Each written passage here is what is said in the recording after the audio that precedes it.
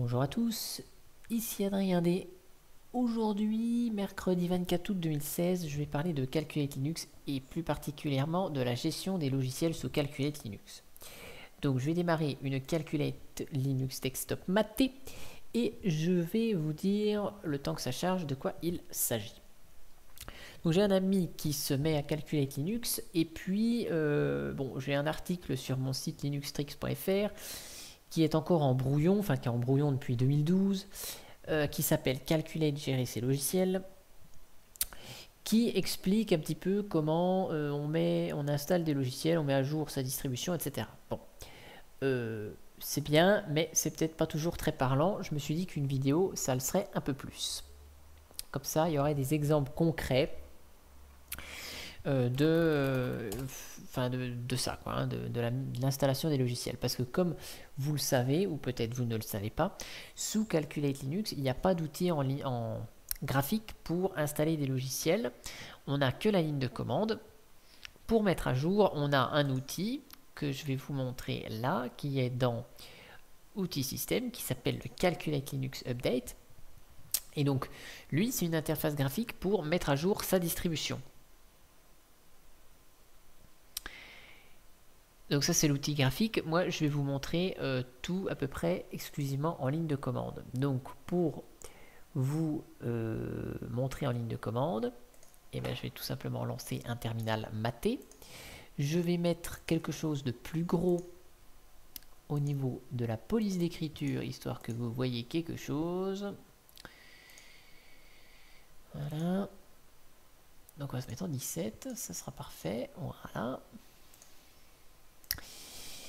Et donc, la première chose, ça va être de mettre à jour sa distribution Linux, sa Calculate Linux. Donc, pour mettre à jour Calculate Linux, rien de plus simple, on passe en route.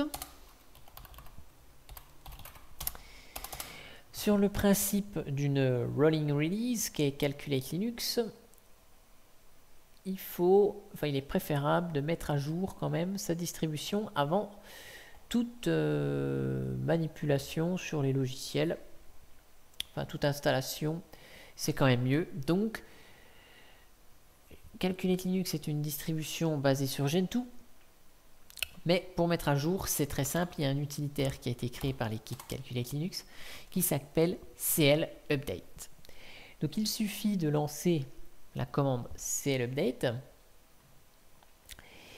Et cette commande fait un certain nombre de commandes qui sont prévues sous Gentoo, c'est-à-dire la synchronisation des dépôts, c'est-à-dire de la liste des logiciels.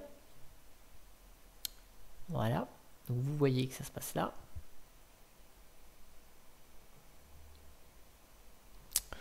Ensuite, ça va mettre à jour les fichiers de configuration donc là, c'est juste un tout petit peu lent parce que ma machine, euh, enfin c'est pas un SSD. J'aurais pu, pu vous faire la démo sur ma machine réelle. Euh, le problème étant que sur la machine réelle, j'ai déjà beaucoup de choses installées.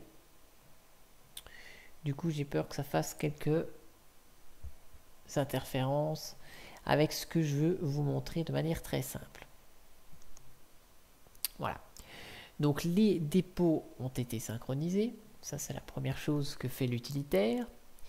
C'est l'équivalent pour les GenTwist de la commande emerge-5. Ensuite, le cache de EIX, parce que EIX, c'est un logiciel qui est rajouté en plus dans Calculate Linux. Donc le cache est actualisé, on verra juste par la suite dans la vidéo que EIX sert à faire des recherches sur les logiciels. EIX est plus rapide la commande émerge-5. Voilà.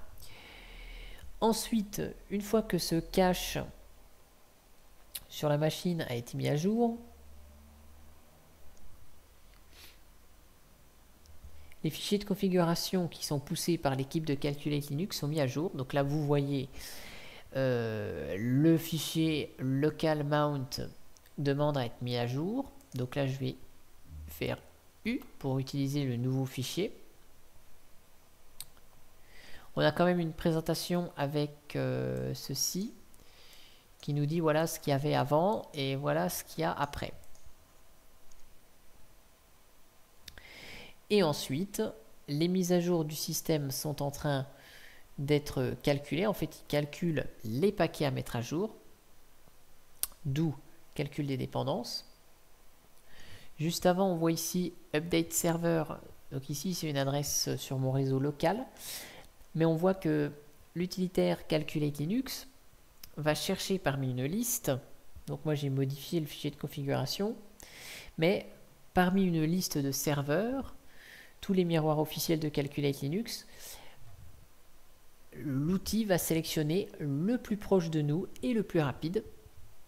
Donc vu que moi j'ai ajouté à la liste mon serveur dans mon réseau local, forcément c'est lui le plus rapide.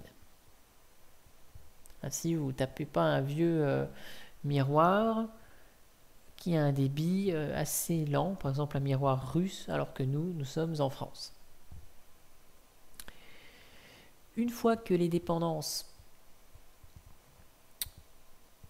sont calculées,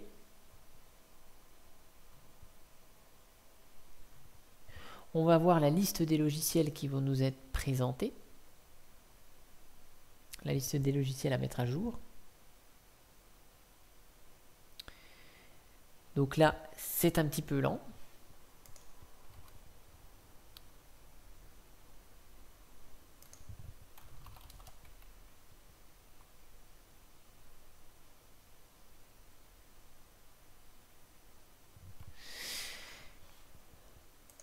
Le temps que ça veuille se, calculer. Voilà, il n'y a que ça. C'est pas grave, j'aurais ouvert une deuxième console. Donc voilà, il y a deux logiciels à mettre à jour, Mail et MPlayer. Donc là, pour valider les mises à jour, on tape Yes. On peut directement taper Entrée. Ça suffit également. Donc pour information, le U, c'est pour Update. Le logiciel va être mis à jour. Donc là, on voit ici qu'il était en version 3.13.2, révision 9, et il va être mis à jour en version 3.14. Et ici, pour MPlayer, on a RR, c'est-à-dire qu'il est réinstallé avec des options différentes de ce qui était installé présentement sur le système.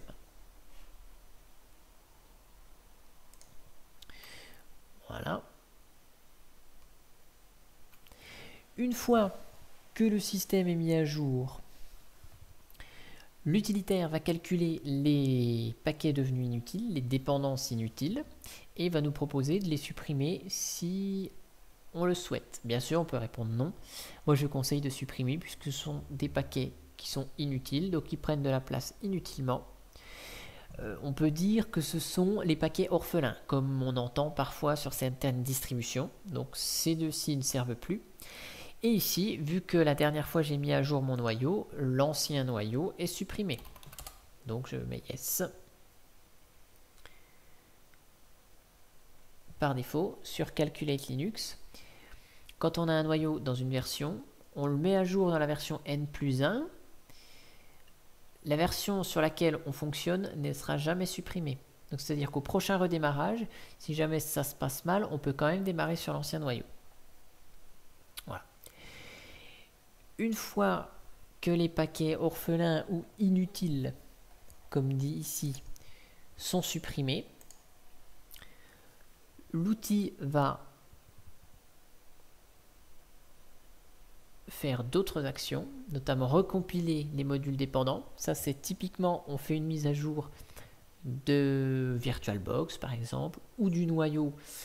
Euh, l'outil de mise à jour va recompiler les éventuels modules on met à jour le noyau, il va recompiler et réinstaller les bons pilotes NVIDIA, par exemple, pour le nouveau noyau.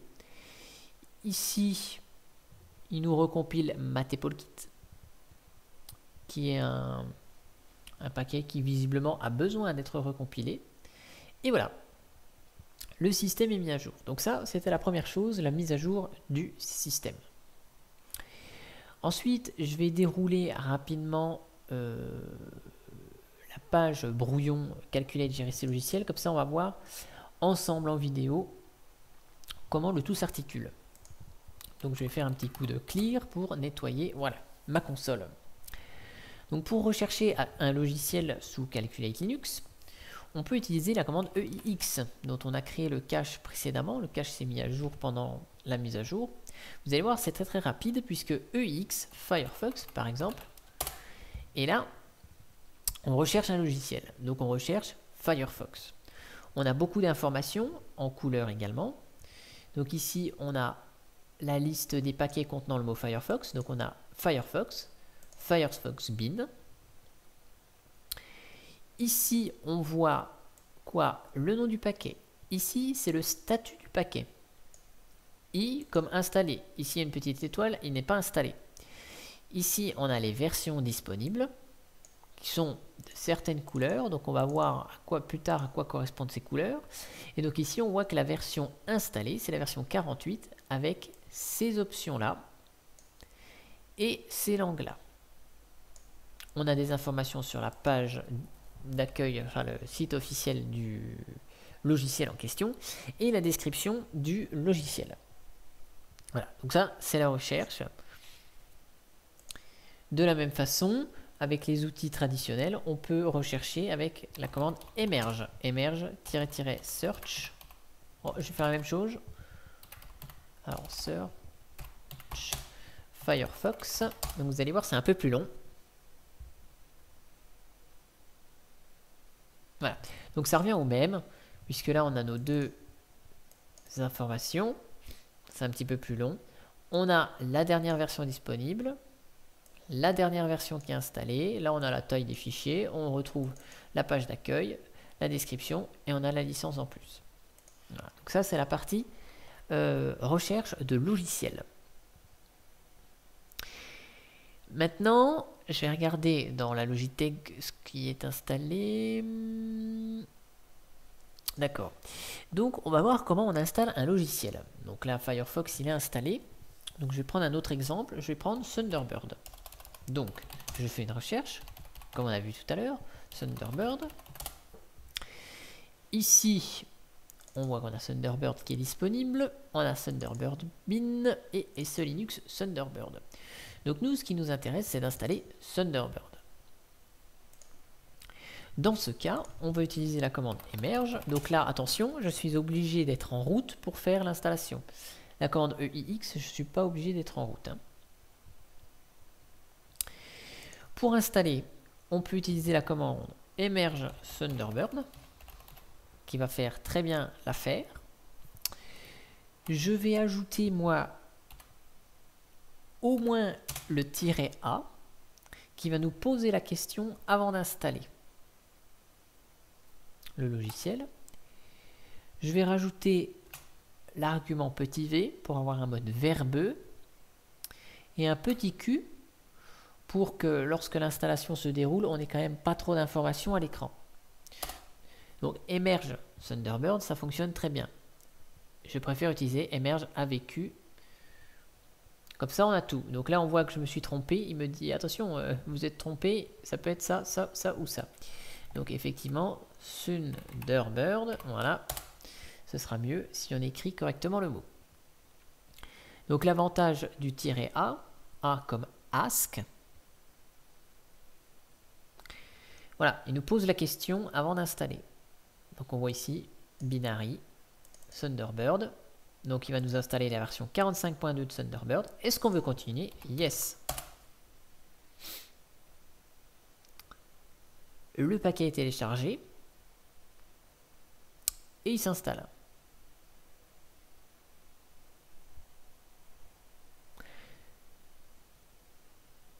Sous Calculate Linux, lorsqu'on installe un logiciel, on a deux possibilités. Soit on a des paquets qui sont de couleur violette, nommés binary, soit on a des paquets qui sont de couleur, euh, verte, qui sont notés upbuild. Ces paquets de couleur verte, ils seront compilés sur la machine. Voilà, donc Thunderbird est installé. Et si maintenant j'ouvre le menu Internet, Thunderbird est là. Maintenant, on va voir comment euh, désinstaller un logiciel. Donc j'ai installé Thunderbird, mais par exemple, j'en suis pas content, ça me plaît pas, je veux le désinstaller. Dans ce cas-là, on utilise à nouveau émerge, d'accord, émerge, mais avec l'argument moins grand C. Thunderbird. Là, on a 5 secondes pour annuler, des fois qu'on se soit trompé. Et Thunderbird va être désinstallé.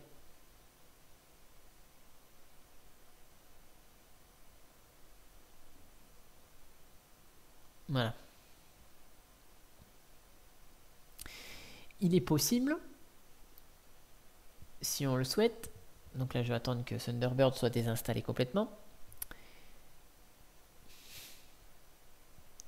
Il est possible, si on le souhaite, de tester l'installation d'un logiciel sans l'installer. Bon, ça, euh, on passe les détails de, ces petits messages-là. Hein. Je ne vais pas en parler aujourd'hui. Donc là, Thunderbird est bien désinstallé. Si je veux tester l'installation de Thunderbird, donc là, j'ai pas besoin d'être en route, je peux lancer la commande emerge-p, p comme pretend, c'est-à-dire je vais essayer d'installer, je vais tester l'installation, je laisse le V du coup pour avoir le mode verbeux, avoir pas mal d'informations sur le, logiciel, Thunderbird. Et donc ici, vu qu'on n'installe rien, on ne désinstalle rien, on ne fait que tester, on n'a pas besoin, pas besoin des droits route. Voilà. Donc ça revient à la même chose que euh, jusqu'à ce qu'on aille à la question voulez-vous installer? On teste l'installation. Voilà. Il est disponible. En version 45.2, il peut s'installer la prochaine fois. Je vais revenir route. Si vous installez un logiciel, il se peut que plusieurs logiciels portent le même nom. Je m'explique. Prenons KeePassX. On a deux logiciels qui s'appellent KeePassX. AppAdmin KeePassX, qui est le, gestionnaire de mot de passe.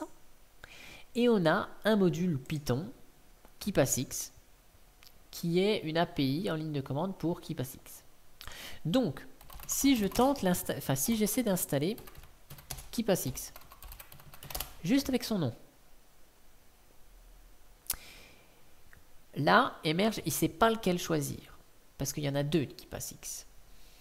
Donc dans ce cas-là, et seulement dans ce cas-là, il va être euh, obligatoire de préciser tout le nom de l'application, c'est-à-dire AppAdmin KeePassX. C'est le seul cas où on aura besoin de stipuler tout. Voilà, et là, il va nous installer le bon. Parce qu'effectivement, sinon, il ne sait pas lequel il va installer. Dans le cas où euh, on fait une fausse manœuvre, par exemple, j'installe, donc là je mets pas V ni A, parce que je veux pas avoir la demande, je sais que ça marche, je réinstalle Thunderbird. Et puis, je ne sais pas pourquoi, pour une raison X ou Y, donc je vais attendre que l'installation se déroule, voilà, commence. Pour une raison X ou Y, oh mince, j'ai annulé l'installation. Je veux euh, reprendre là où il en était, ou par exemple on fait une mise à jour, on installe un certain nombre de paquets, on veut reprendre où on en était, émerge, petit r. Et là, il va reprendre la transaction qu'il était en train de faire. Donc, j'ai installé Thunderbird. J'ai commencé à l'installer. Il a été interrompu. Il reprend. Resuming merge.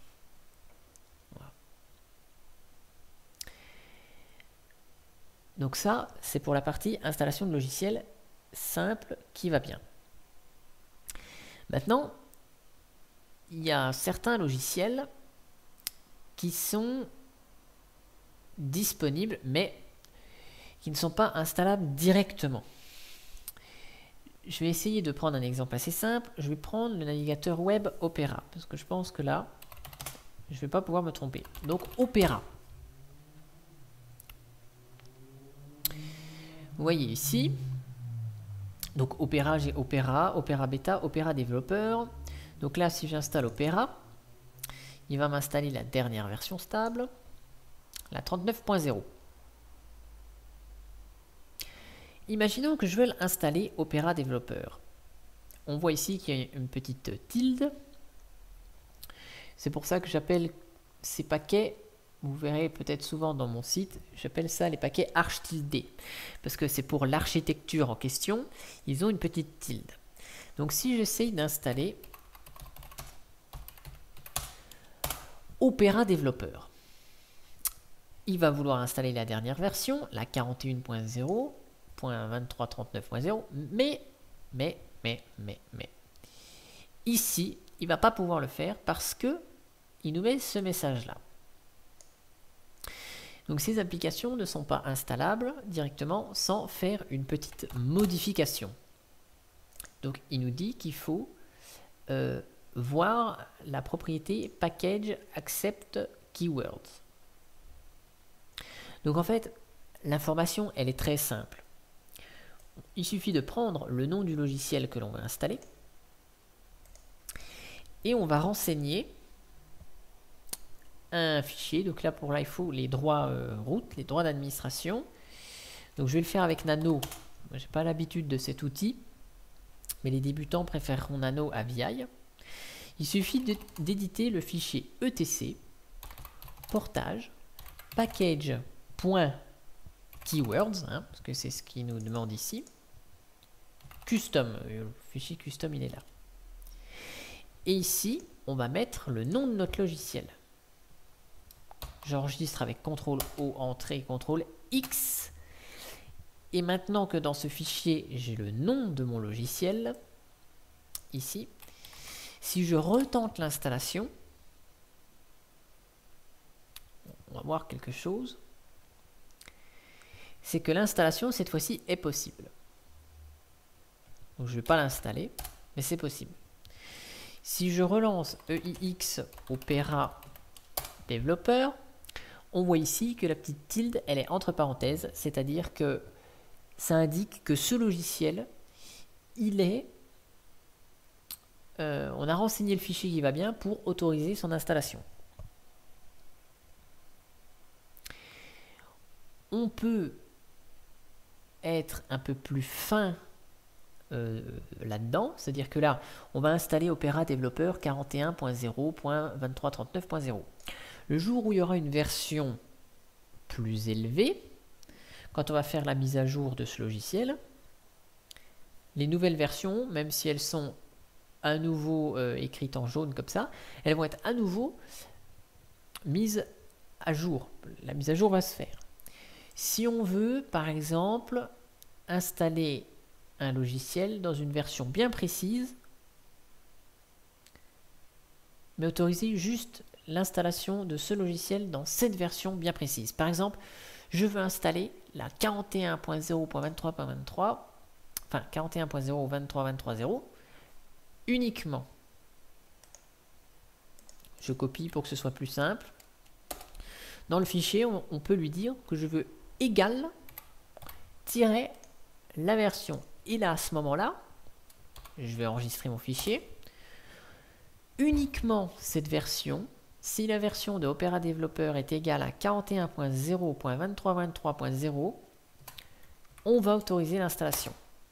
Et donc là, on voit que uniquement cette version va être ignorée et on pourra l'installer. Si je relance l'installation, on va voir que ce n'est pas la 2339 qui va s'installer, mais c'est bien la 2323.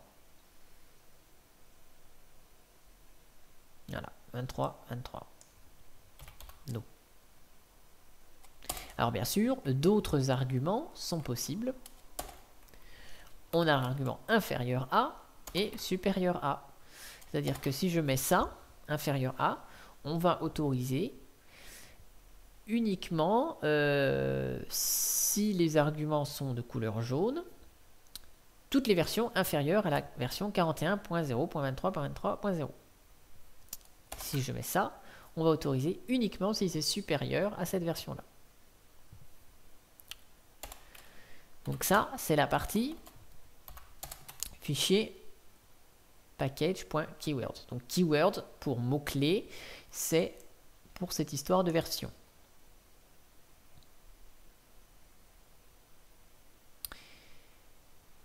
Voilà. De la même façon,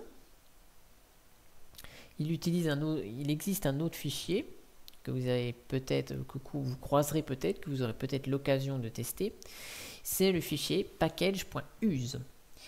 Les use, les use flags, ce sont, euh, alors je vais prendre un petit paquet pour vous montrer, hashtop, voilà. Les use flags, quand on recherche avec EIX, ce sont ces mots-là qui sont ici. Ce sont les options de compilation disponibles. Donc par défaut, un certain nombre d'options de compilation sont disponibles. Ici, on voit, on a Unicode. Si on veut personnaliser le paquet, par exemple, si je veux compiler HTOP avec l'option OpenVZ, je vais, je vais renseigner ce fichier etc portage package.use custom. Donc je vais copier ça pour que ce soit plus simple. Donc on a dit que je vais lancer avec Open, enfin je vais la compiler avec OpenVZ. Donc je mets le nom du logiciel, OpenVZ, etc. Si j'ai besoin d'en un autre, comme il y avait vserver, je les mets les uns à la suite des autres. Donc là, j'en mets juste un, OpenVZ. Si je veux mettre à jour maintenant mon logiciel, htop emerge-u pour mettre à jour, htop u comme update.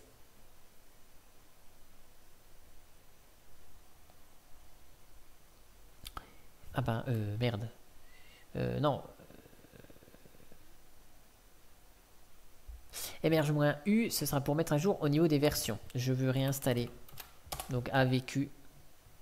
Pas grave. Je me suis trompé. Excusez-moi. Là, avec Emerge AVQ, je vais relancer l'installation de HTOP.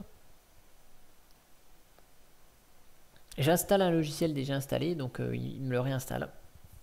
Tout simplement. Et donc là, vous allez voir,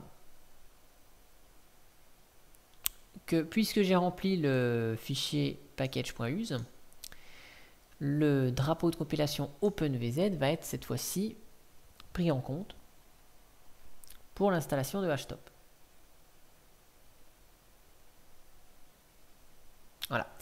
Et donc les changements s'affichent en vert avec une petite étoile. Donc là, si je mets Yes, il va réinstaller HTOP en version 2.0.2 avec OpenVZ. De la même façon, si, donc là je vous ai dit qu'il était installé avec Unicode, si on ne veut pas du use Unicode, il suffit de faire précéder cette option avec un moins, moins Unicode. J'enregistre mon fichier, je réinstalle et vous allez voir cette fois-ci, il va essayer de me l'installer sans l'option Unicode.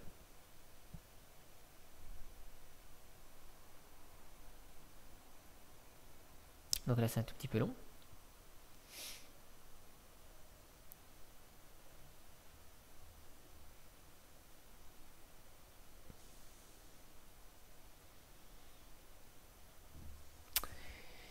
Patientons, patientons.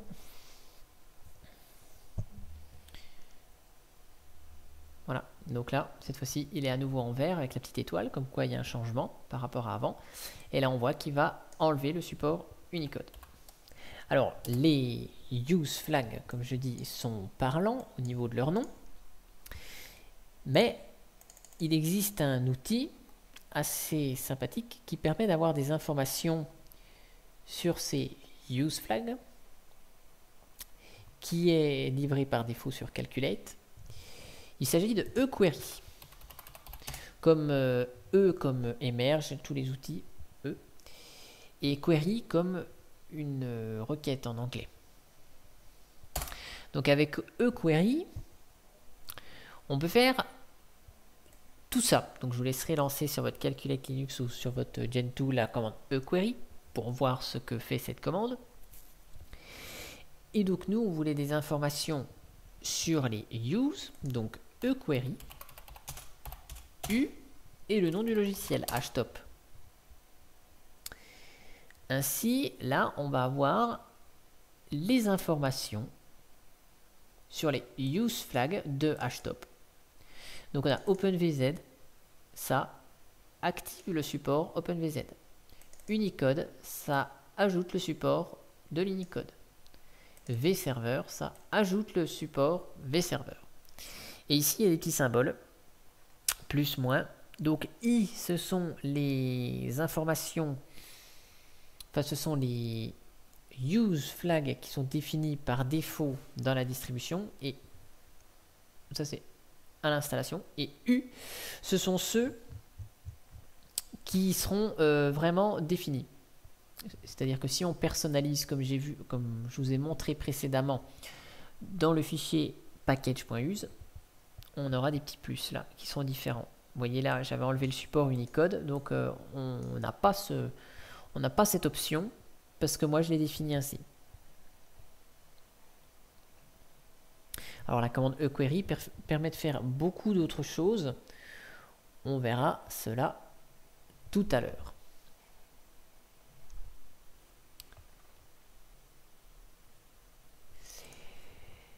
Qu'est-ce que je peux vous montrer d'autre? Eh bien, après tout, tant qu'on est avec eQuery, je vais relancer eQuery. Voilà. Pour que vous puissiez voir ce que ça peut faire. Donc, si on veut savoir, par exemple, dans quel paquet se trouve un fichier. Notre, notre fichier userbin Firefox. Si on veut savoir dans quel paquet, dans quel euh, logiciel se trouve userbin Firefox, avec query, b comme belong, userbin Firefox, l'outil va chercher et nous dit, voilà, Firefox est contenu dans le paquet www qui est en Firefox 48.0. Userbin Firefox et le fichier est un lien symbolique qui renvoie sur user lib64 Firefox Firefox. Voilà, voilà. Donc avec ça, on a toutes les informations. Si on veut lister les dépendances d'un paquet, par exemple Firefox, on veut savoir quels sont les paquets dépendants de Firefox. Eh bien, avec query, on peut à nouveau, grâce à la à l'option G, display a tree of all dependencies for package. Donc c'est-à-dire qu'il va nous montrer quels sont les paquets dépendants. Voilà. Et donc Firefox dépend de tout ça. Donc il y a 57 paquets qui dépendent. Pour Firefox 48.0, voilà, on a besoin de tout ça. Bien sûr, l'outil nous le donne pour chaque version. La version 47.0.1, il a besoin de tout ça, etc. Donc si on a besoin des infos que pour la version 48.0 de Firefox, on précise tout. Voilà. Et donc là, on a juste pour la version 48.0.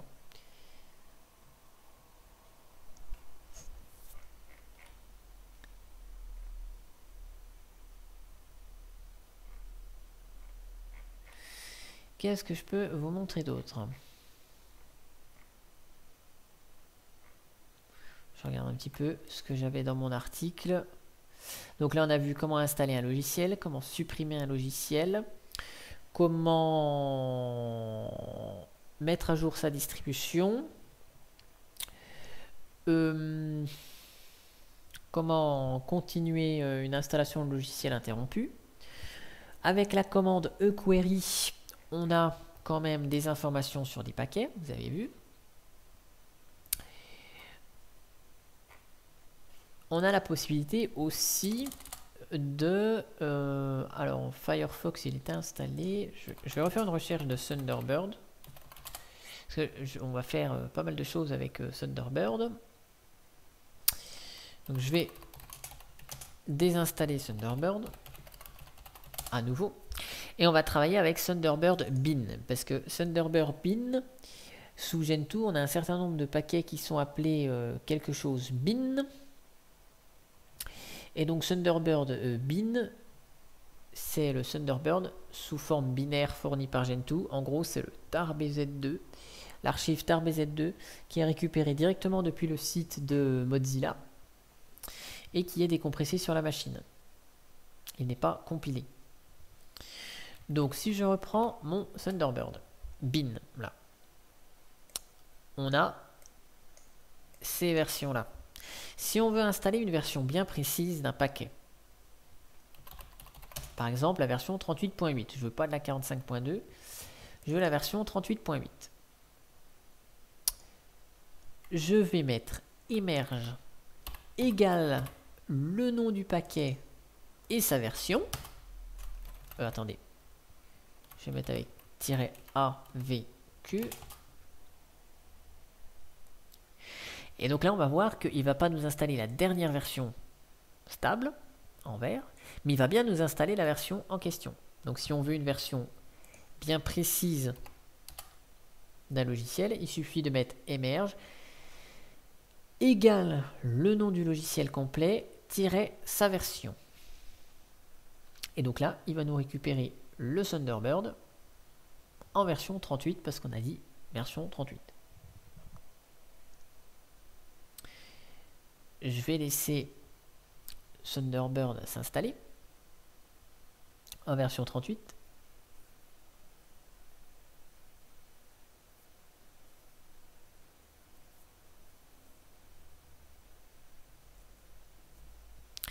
Et après, on va voir comment on peut le mettre à jour en ligne de commande. Et comment parce que, après tout, si on veut installer un logiciel dans une version bien précise, on veut peut-être aussi ne pas installer les versions supérieures. Donc on va regarder comment on peut bloquer l'installation des logiciels en version supérieure. Donc déjà, il faudrait que le Thunderbird 38.8.0 soit installé pour que je puisse vous montrer la suite. Le temps qui s'installe, je vais prendre une autre console. Donc là, je vais juste copier-coller le nom. Je vais tout copier ça. Voilà. Donc pour bloquer l'installation d'un paquet dans une version donnée ou supérieure à une version donnée ou inférieure à une version donnée. Ça s'appelle masquer un paquet. Et donc pour ça, on va éditer le fichier etc portage package. Alors c'est pas keywords, c'est pas des mots-clés, c'est pas package.use parce qu'on ne traite pas les US flags. Donc si on veut masquer un paquet, eh ben, ce sera le fichier package.masque. Eh oui. Et custom parce qu'il existe.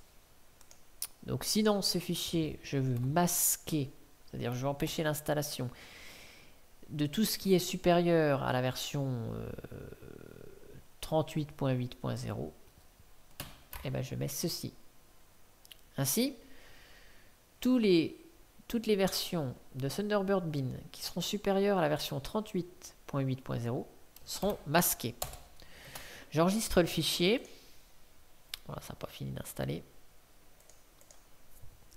Et si je relance EIX Thunderbird bin, vous allez voir ici, il y a un petit M devant le 45.02, enfin 45.2.0, parce que cette version, elle est supérieure à la 38.8.0. Donc si on essaye d'installer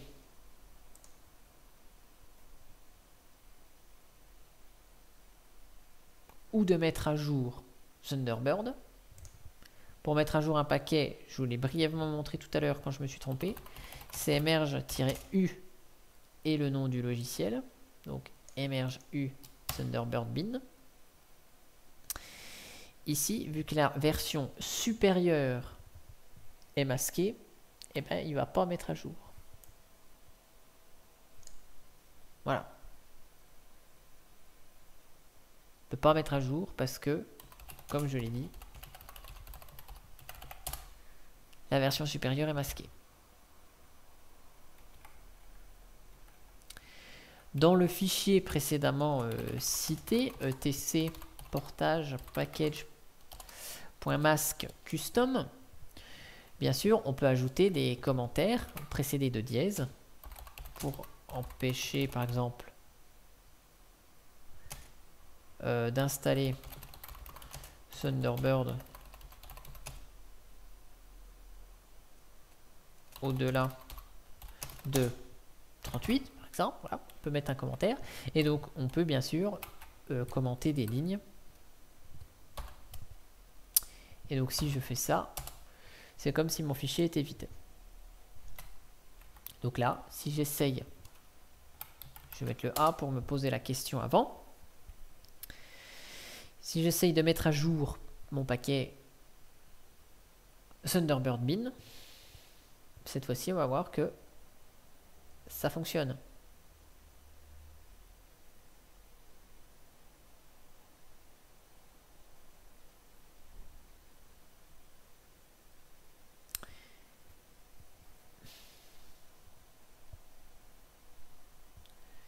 quand il aura calculé les dépendances. Voilà. Donc ici, on a le petit u, puisque il va update, mettre à jour. On voit ici qu'on a la version 38.8.0 et il va nous installer la version 45.2.0. Alors vous allez me dire, ce logiciel est installé. Mais j'ai fait une connerie, je vais installer la version 31.8.0. Donc on peut tout à fait masquer les versions supérieures à 32. Je, vais mettre euh, je vais mettre 32. Donc là, il va se passer quoi? Si je reprends mon logiciel, on a une version qui est installée ici, 38.8.0, elle est surlignée, ce qui est installé. Elle est installée, mais elle est masquée. Donc forcément, le statut, c'est point d'interrogation, parce que l'outil ne sait pas... Euh, je dis, merde, j'ai une version installée, mais euh, qui est masquée. Donc là, si on relance la mise à jour, soit complète du système, soit juste de ce paquet-là en question, vous allez voir que le système de pactage est très intelligent puisqu'il va quand même nous proposer la mise à jour de Thunderbird, mais il va nous proposer la mise à jour vers une version antérieure. En gros, il va corriger lors de la prochaine mise à jour, où il va corriger tout seul comme un grand ce qui a été défini dans les divers fichiers. C'est pour ça que l'installation des logiciels sont plus ou moins longs parce qu'il y a un certain nombre de choses qui sont analysées à chaque fois que euh, une mise à jour se fait. Donc là, vous voyez à l'écran, le paquet ici, il est Comme update parce qu'il va procéder à une mise à jour. Il va mettre à jour ce paquet Thunderbird bin. Mais en fait, on a le petit D parce qu'il va downgrader. Donc il va rétrograder en bon français le paquet. Il est installé en version 38.8.0 et il va installer la version 31.8.0 parce qu'on lui a dit que la version 38, au-delà de 32, on masque. Voilà. Donc ça, c'est pour masquer un logiciel. Bien sûr, on peut combiner plusieurs choses. Si on veut, on peut dire je masque tout ce qui est inférieur à 32 et je masque tout ce qui est supérieur à 40. Il suffit de faire ça. Et donc là, si on relance le EIX Thunderbird bin pour voir un petit peu ce qui va nous sortir, on voit ici que la version 31, donc tout ce qui est inférieur à 32, c'est masqué. Tout ce qui est supérieur à 40, c'est masqué. Et ça, ça va être, ça, ça va être conservé. Donc, pour masquer un paquet, on peut jongler avec plusieurs lignes, bien sûr. Ça fonctionne, cette astuce, pour le masquage, package.mask, pour le use et pour le keywords. C'est-à-dire que si on veut tel use à partir de telle version d'un paquet, on peut combiner tout ça. Je suis d'accord, ça commence à devenir compliqué, mais c'est ce qui montre que le système de pactage est très très flexible. On peut faire beaucoup de choses avec.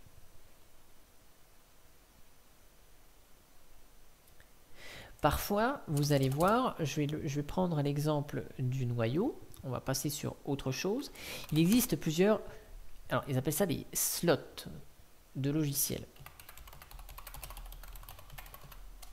Allez, prenons Calculate Source. Les sources Calculate Linux. Le noyau Calculate Linux. Vous voyez, les slots, c'est ce qui est écrit en rouge là, entre parenthèses. Si on veut installer un slot bien précis, donc là ce n'est plus une version mais un slot, à la limite vous allez me dire, là je prends un peu le mauvais exemple parce que Bref, c'est pas grave. Je veux mon noyau 4.4.17, il est installé là, mais je veux pas que plus tard il soit supprimé. Eh ben on peut faire emerge-avq, le nom du logiciel, et je veux dire là je veux que la version 4.4.17, je la déclare comme installée. Mais bien cette version, ce slot là, cette branche là, je veux qu'elle soit installée et pas que ça bouge. Donc on va séparer le nom du paquet par deux points. En mettant ça, je déclare l'installation de calculate source dans le slot 4.4.17. Et là, il sera installé en dur comme étant 4.4.17. Là, ça n'a aucun intérêt de faire ça. Mais cet intérêt peut se poser avec Là, je vais mettre tout parce que sinon, je vais avoir beaucoup de choses. Avec PHP. PHP qui est le langage de programmation. qui est un langage de programmation euh, pour des applications web, mais pas que. On peut lui dire, je veux que tu m'installes PHP, le slot 5.6. Donc, emerge-avq, devlang, PHP 5.6. Ainsi, le jour où dans la branche 7.0 ça passera en vert, eh bien il continuera les mises à jour de la branche 5.6. Il n'ira pas passer sur la branche 7.0. Voilà. Donc c'est-à-dire que sur Calculate Linux, mais c'est valable aussi sur Gentoo ce que je dis, on peut installer un logiciel dans plusieurs slots différents. C'est-à-dire là je peux installer PHP en version 5.6 et en version 5.5 en même temps sur la machine. C'est quand même formidable. Donc là, c'est un peu plus technique. Euh, je ferai peut-être une vidéo plus technique un peu plus tard là-dessus. Voilà. Euh, je pense qu'avec ça, vous pouvez vous débrouiller dans la majorité des cas avec le gestionnaire de pactage de la Calculate Linux. Donc, si on récapitule rapidement, mettre à jour la distribution, CL Update. Ça, c'est pour mettre à jour la distribution. Pour rechercher des logiciels, EIX, une partie du nom du logiciel. Pour installer un logiciel, émerge le nom du logiciel. émerge AVQ, A pour ask, V comme verbeux et Q comme quiet. C'est-à-dire que lors de l'installation, c'est assez simple ce qui s'affiche à la console. Pour supprimer un logiciel, émerge-grand C, le logiciel. Pour mettre à jour un logiciel, si on veut en mettre à jour juste un seul, émerge U, le logiciel. Si on veut personnaliser les US flags, c'est-à-dire les options de compilation d'un logiciel, on renseigne le fichier etc portage package.use custom. Si on veut autoriser l'installation d'un logiciel qui est arch c'est-à-dire écrit en jaune, ici, on renseigne avec le nom du paquet le fichier etc portage package.keywords custom. Si on veut masquer un paquet, c'est-à-dire interdire l'installation d'un paquet supérieur à une version, inférieure à une version ou supérieure à la telle et inférieure à la telle, on enseigne le fichier etc portage package.mask custom. Si on veut plus d'informations sur Emerge, on a toujours la possibilité de lancer emerge-help. Ou bien, pour plus d'informations, man emerge. Où là, on a tout le manuel de la commande emerge avec option par option.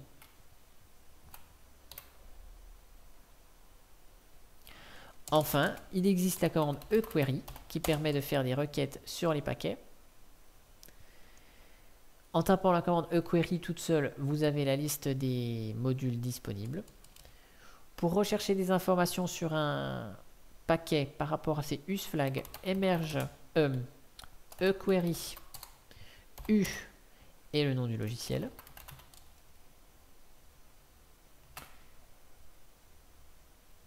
Si vous voulez savoir à quel logiciel appartient un fichier eQuery. B comme belong et l'emplacement du fichier,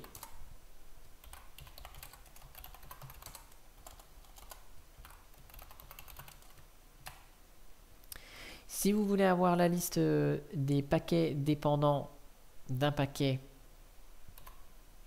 eQuery G, le nom du paquet en entier.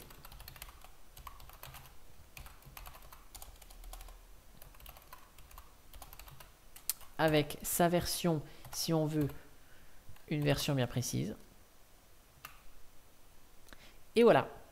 Donc avec ça, vous devriez pouvoir vous débrouiller dans la majorité des cas et pouvoir installer pas mal de petites choses. J'espère que cette vidéo assez longue mais assez détaillée vous aura plu. Et moi, je vous dis à bientôt pour une prochaine vidéo. Allez, ciao